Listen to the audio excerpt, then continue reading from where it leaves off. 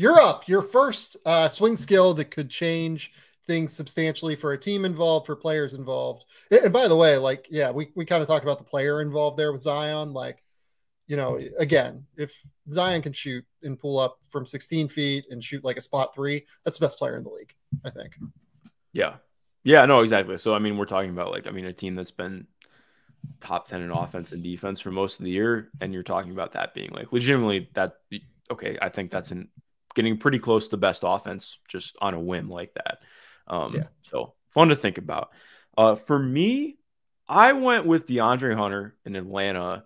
Um, and it's just more like latent skill. So like, okay, if he can, if his handle gets a little bit tighter, um, gets a little bit more shake to what he can do, and he starts to see things a little bit quicker. So in other words, if he could really play the three, um, I think that's what would open up for him because right now, I think one of the biggest issues with their lineups is that he just like there are a lot of guys who they can get the advantage for Dejounte and then they really aren't able to fully capitalize on it. Like there's a lot of ball holding, a lot of pausing. Um, and I think like I like DeAndre. I think I still am fine with the the contract that he got. Part of that's because I just don't really care for contract talk. Um, but in looking at what he can do, I think that is what they are really hoping to see from him. There's always been the stretches and flashes. Like he's had some really nice stretches lately um, that have been promising. But again, I think seeing this become a consistent thing where he can routinely create off the dribble. And it's not even like, okay, let him isolate and create off the dribble. No, it's like, okay, can you catch and go? Just doing that stuff routinely. Can you keep the ball moving? I think that's stuff that feasibly he can get to on during this contract. And that would make a really big difference for this team because right now I think they can really their offense can struggle at times when he's playing the three for them. Um, so that would be especially when we're talking about a team that with John uh, John Collins likely finally on the move this trade deadline, um, and with some possibility to see just a little bit more of their wing heavy lineups, um, even with the starting lineup now. Uh, I would be very interested to see that because that then you're talking about actually having more versatility throughout their their team because then you have a guy who can really play the three and the four instead of just being really only a positive on offense at, at, the four right now. Um, and having the ability to be more of a two way player through that would be really exciting to see. Well, everything with him seems to be more on his terms when he has it going on offense. You know what I mean? Like, it's a lot of that mid post stuff that Nate McMillan loves to run. It's a lot of, you know, I'm going to try and drive. He he's like he has the thing that Malcolm Brogdon used to do where like he catches and pauses all the time. Mm-hmm. As opposed to like just moving quickly and keeping the offense in flow and in rhythm and allowing them to keep the advantage. I think in part because like he has an advantage on guys for the most part. Like he is six foot eight, he has a high release point. Like I think that he tries to survey for what the best way for him to score is a lot of the time, as opposed whenever he gets that advantage on that kick out and he has to pause to do it. And I think that that's what worries me a little bit about him, I guess. Like uh, it's it's almost like the process the processing speed needs to go quicker. Yeah. Right. Like that's yeah. actually kind of what we're talking about, right? Yeah, definitely. I think again, like I think it totally goes hand in hand too with like, okay, he's seeing things faster, but also you get more uh, like just if his handle's just better in general, I think you get more in terms of just margin for error with that. Um, but exactly, I think it's just doing everything a little bit quicker um, would really be pretty game changing for him as a player, honestly. Yeah, no, I totally agree. And like, how, here's here's like a good question: like, how do we think this would change the roster construction of the Hawks moving forward? Because I, I think it actually would change things pretty substantially for them. Because it look, it, it seems like the John Collins thing is going to end at some point here. maybe they get through the season, but look, I tend to think that when things go this far, at some point in the next six months, at the very least, it'll reach its logical conclusion, right? Uh, so let's say they do move John Collins. I do feel like because we also have a circumstance where they have AJ Griffin on this roster, who is a guy that – has shown more flashes driving the basketball than what we saw at Duke, I mm-hmm. think. Mm-hmm. but still has his own questions in terms of being able to consistently create from the three as like a secondary playmaker. How do you think that DeAndre being able to process, being able to be like an actual secondary playmaker would change the structure of the Hawks in general? Uh, that's a good question. I think, like, I mean, maybe in some ways you could put it as that opens up even more room to be willing to play AJ. Um, I think, like, obviously, like, I'd actually argue that AJ, in terms of what they need offensively at the three, he's been their best option in some ways. Like, you, you obviously you have trade offs with what is actually getting put out there.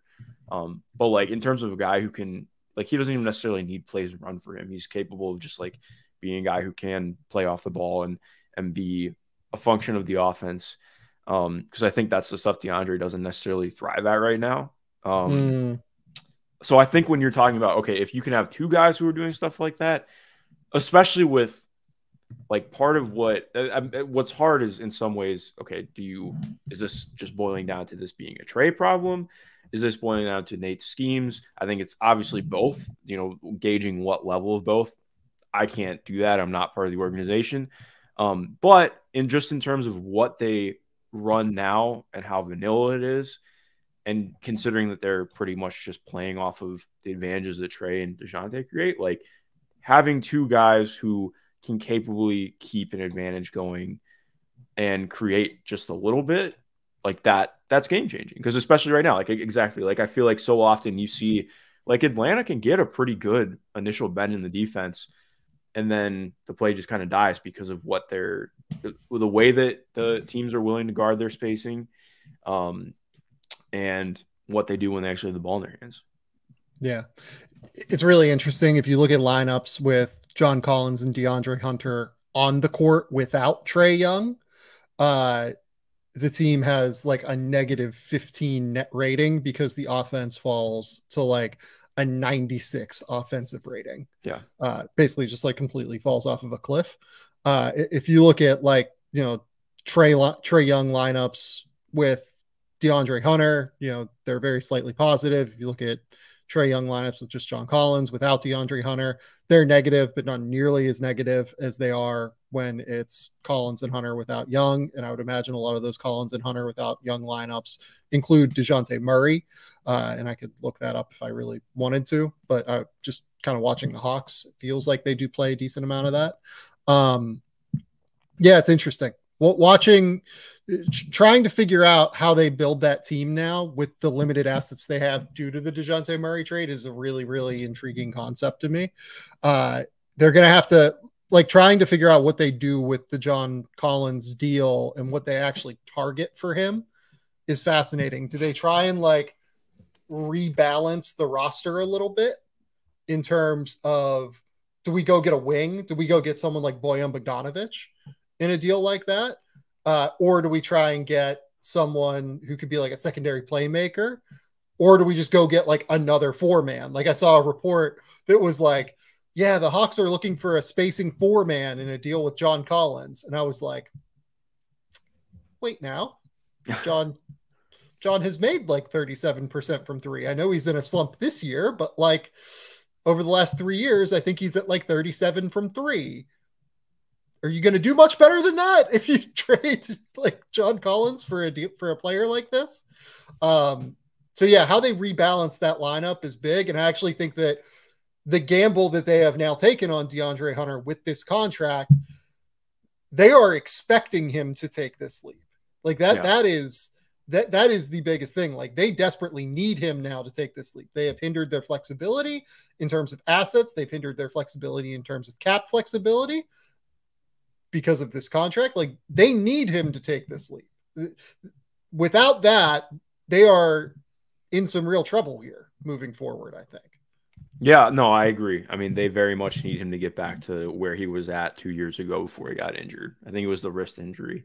Um, but that 20 game stretch he had, yeah, like that's the stuff that you want to see again. Um, yeah. and part of that too was like he was just really hot shooting, but I think you saw a lot of the him getting into things quicker, him just being in a real rhythm um, that we haven't really felt quite as much since then. And again, it's worth noting too, like he is still a fine NBA player. Like he does positive things that matter at a position that is hard to get players at. um, who who do things that are are good enough to keep them on both ends of the court. But I think that for what they really need offensively, they do need a little bit more out of him.